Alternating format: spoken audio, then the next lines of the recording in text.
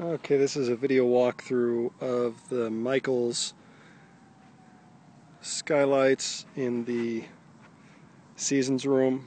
Um, they're having problems with leaking, primarily on this side. Um, that side hasn't really had any problems. Sometimes she has some issues. They have some issues with the vent, I believe. Um, we'll start with the vent. I mean, it's a standard vent.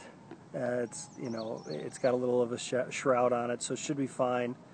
Um, when they have driving force rain, then it will get in there, and there's not really a whole lot to do on that. Um, we could always replace it um, with maybe one of the a newer one, which I can suggest, but it may not be the best. As far as on here, uh, immediately there's a couple things on here.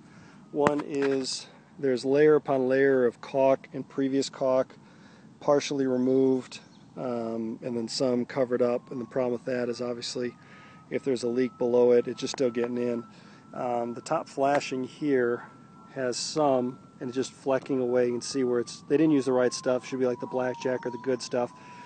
So you see here where it's pushed up, and I believe when the water comes in, you start having to just kind of go along this channel here, and it just kind of goes in, and you see it just all coming up. So the, whoever did this last, the caulk they used that was not the proper like quad or, or blackjack, so that's not right. Uh, you come up onto the flashing coming off of this again. All of this is just not good caulk. Um, you can see right there. It looks like you know it just it's it's they put it up to it like this. This looks more like a silicone, which is probably fine. But even right there, there's a gap. So likely, I mean, this thing has to be totally cleaned off, and then just the proper stuff put on. Um, the seal at the glass looks okay. Um, it's not in the best condition. But again, they just kind of spot put stuff on here that doesn't really work properly. Um, you know, just not the best way of doing it. Uh, let's see. So, put my headset in so make sure I get good sound.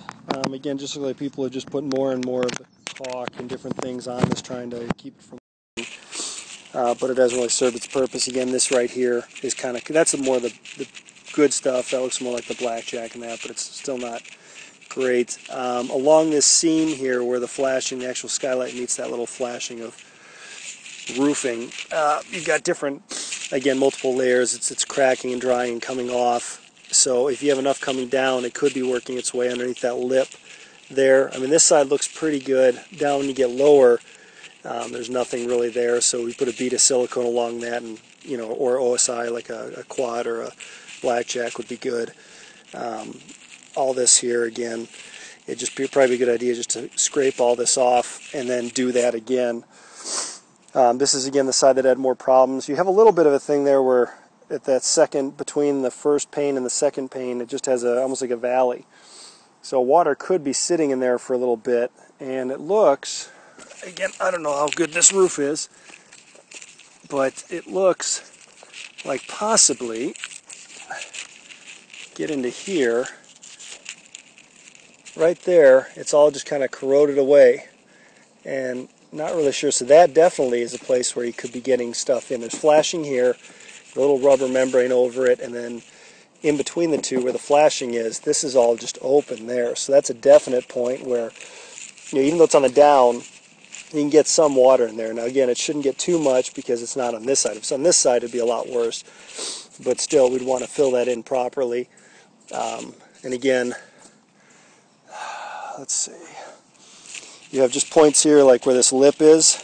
It's not really sealed properly, so as the water's coming down, some can get in. I'm not seeing a major point, um, but like right here, if you look right at the point here. So water gets on here, it runs down, and you get right to that point there, and it hits that bead of caulk or whatever is on that one, and then keeps going on to that one right there, and that again, it can just kind of penetrate right there. So that's definitely not what we want to see. Um, again, the lip here isn't really sealed, so you know those again, gravity should be taking it away from it, but still, you don't want to see that. Um, on the one side that she said doesn't get as much leaking, same thing, this whole thing. Someone had caulked it but never really formed a seal between the lip and the and the flashing or the uh, the roof. So that could be improved on. Um, again, you have valleys and places where, and you have where the old caulk is that's cracking. It actually forms a place for the water to kind of catch. So it actually catches the water in those places um, and lets it sit, which obviously isn't a good thing, um, especially when you get into like wintertime and that. Even some of this, this is kind of old and cracked. You know, it's not the best thing to see. Although again, the gravity water should be taking it down. Gravity takes it down this way the slope, so you're not going to have a lot of standing water on these. Uh, one time is probably in the winter time you get ice and ice damming and that, and that's probably not a good thing as well. But um, again, that's probably not it. And this side doesn't have as many problems, they said. Um, so what my recommendation is going to be is that we go through, scrape everything, and put the proper stuff on. Um, you have a few other points up here. Let's see. Again, as you get lower here, you know, you have these big mounds of just old stuff that just literally flex away. Um, it's just not the proper stuff. Yeah, there's there's better stuff that doesn't doesn't get damaged as much by the sun. Um, so I mean, look, you see it coming off in big flecks. So like here, you have the membrane that was cut, and then they covered it, and then you have more there, but it's all breaking away. So water, when it hits this, it can possibly just get right underneath there into this. So right at this point, you might have that coming through too. Um, again, you have the same thing here. This is flashing. They put in between it, and they put some sealant on.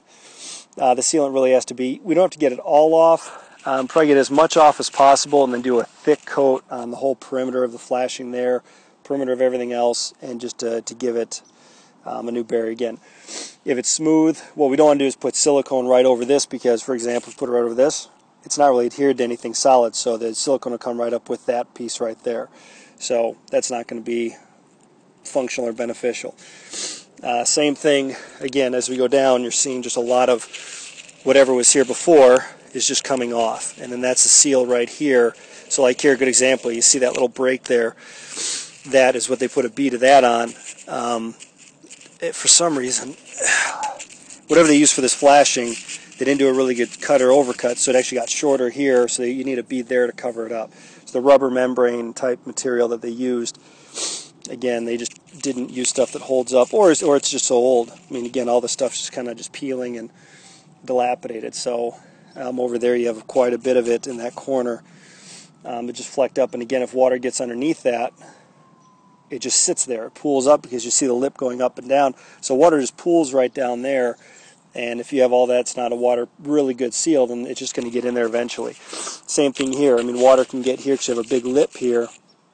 Water can stand in this and kind of just sit, and then you have all the stuff that's not really waterproof anymore. It's going to let it in. Uh, same thing here. That's not a bad thing, so probably isn't having a problem there. But right here, right there, all along this, there is a little bit, but I wouldn't think it's a big deal. But again, that area right there, up, up on there, is also an area that you probably have some penetration.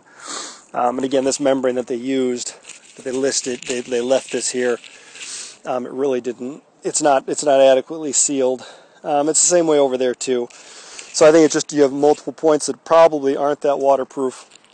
That just on days that you know some whatever the angle of the rain, um, where it's driving to, and that you just have more problems with it. So in any case, uh, that will be what needs to be taken care of. I think to really solve the problem.